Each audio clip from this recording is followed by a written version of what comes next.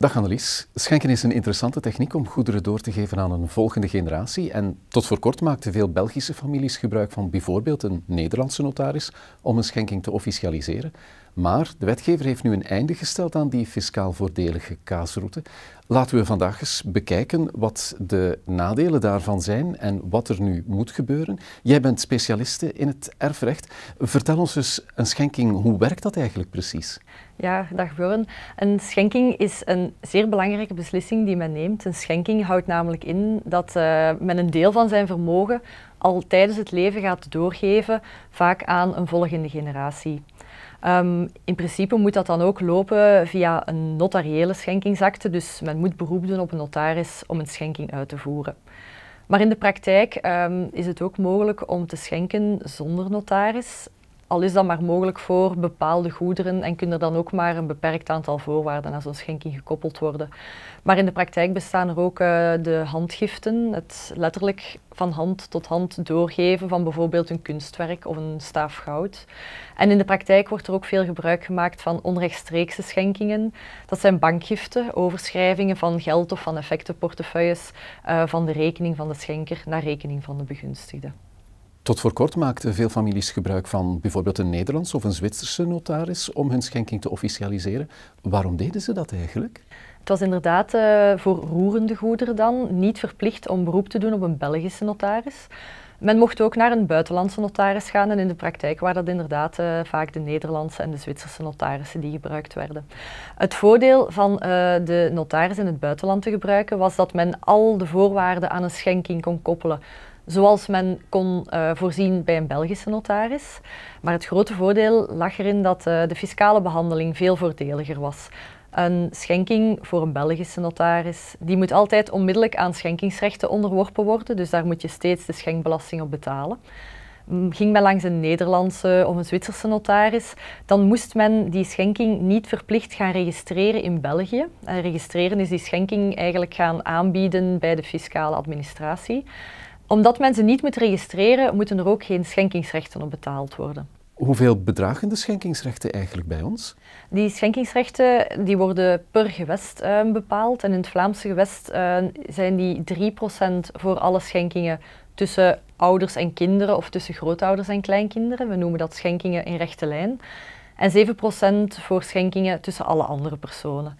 Let wel, dat zijn de tarieven voor de schenkingen van roerende goederen. Vastgoed wordt aan hogere tarieven onderworpen. Aan de andere kant is er dan weer een vrijstelling van schenkingsrechten voor familiale bedrijven die geschonken worden en die aan bepaalde voorwaarden voldoen. Als we kijken naar die piste van de buitenlandse notaris, daar was ook wel een nadeel aan verbonden, hè? Ja, daar was een vrij uh, ernstig nadeel aan verbonden zelfs. Um, als de schenker binnen de drie jaar na de schenking zou overlijden, dan moesten er toch nog successierechten betaald worden op de goederen die u via die buitenlandse notaris had weggeschonken. En de successierechten kunnen in tarief veel hoger oplopen dan de schenkingsrechten in Vlaanderen. Die piste van de buitenlandse notaris die wordt nu eigenlijk door de wetgever bemoeilijkt met nieuwe wetgeving sinds 15 december. Wat is er veranderd?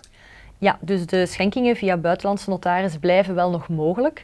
Maar net zoals schenkingen via Belgische notaris zullen die toch ter registratie moeten aangeboden worden. En zal men uh, bij gevolg ook schenkingsrechten moeten betalen op die schenkingen.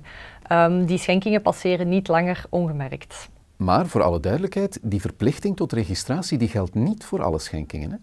Nee, het blijft mogelijk om belastingvrij te schenken via die handgiften of die bankgiften waar we het uh, in het begin van ons gesprek over gehad hebben. Nu, ik moet dat wel een beetje nuanceren. Die dergelijke types van schenkingen moeten inderdaad niet verplicht geregistreerd worden bij de fiscus. Dus daar moeten geen schenkingsrechten op betaald worden. Maar ook daar geldt die periode van drie jaar die de schenker moet overleven overlijdt hij toch in die periode, dan worden er toch successierechten betaald op de goederen die via hand of bankgift geschonken zijn. Een tweede nadeel aan uh, deze schenkingen is dat die niet geschikt zijn voor alle goederen. We hebben al een klein voorbeeld gegeven in het begin. Men kan daar alleen goederen mee schenken die je effectief van hand tot hand kunt overdragen of die via overschrijving kunnen overgemaakt worden. Wil men bijvoorbeeld aandelen van een bedrijf schenken, dan zal men toch nog steeds uh, verplicht beroep moeten doen op een notaris om die schenkingsakte op te stellen. En een derde nadeel van die hand- en bankgiften zijn dat men niet uh, zoveel voorwaarden daaraan kan koppelen. Heel veel schenkers willen nog graag ehm, controle over de goederen die weggeschonken worden. Of die willen graag een inkomen uit die goederen. En dat is moeilijker of niet te organiseren met die hand- of die bankgiften. Je verwees daarnet al even naar aandelen van bedrijven. Een heel specifiek geval is natuurlijk familiebedrijven, waar aandelen overdragen een cruciaal moment is in de geschiedenis van het bedrijf. Wat zegt de wetgever daar nu over? Ja, dat heeft eh, de wetgever eigenlijk al sinds lang willen stimuleren, een uh, vlotte overdracht van het familiaal bedrijf. En speciaal daarvoor hebben ze een vrijstelling van uh, schenkingsrechten voorzien in de wetgeving. Dus familiale bedrijven kunnen gratis geschonken worden. Uh, ze moeten wel aan een aantal voorwaarden voldoen, een echte economische activiteit hebben en het moet ook echt om een familiebedrijf gaan. En een tweede voorwaarde is dat zo'n schenking ook verplicht bij notariële akten moet uitgevoerd worden. Dus wil men als bedrijf beroep doen op die gratis uh, schenkingsmogelijkheid, dan zal men de schenking via een notaris moeten organiseren. Als conclusie, Annelies, blijft schenken een interessante techniek? Schenken blijft zeker een interessante techniek om uw vermogen al voor uw overlijden aan een volgende generatie over te dragen op een fiscaal vriendelijke manier. Maar um, u heeft wel gemerkt dat um, afhankelijk van het type van goederen dat men wil schenken en de voorwaarden die men aan de schenking wil verbinden, dat er toch goed moet nagedacht worden over uh, de vraag, gaan we de schenking via notaris uitvoeren of gaan we voor een eenvoudigere schenkingsvorm gaan via de handgift of de bankgift. Alice van Grosveld, bedankt voor de toelichting en graag tot een volgende keer. Tot de volgende keer.